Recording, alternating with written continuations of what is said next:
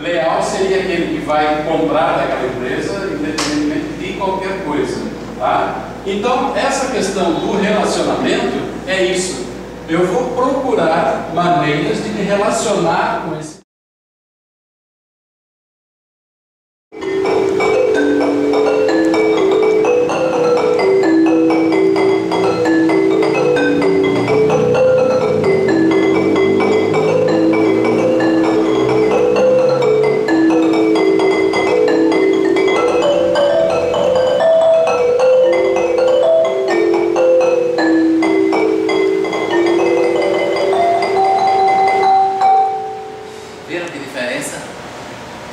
é impressionante. Né? Depois é que eu fui entender esse fenômeno.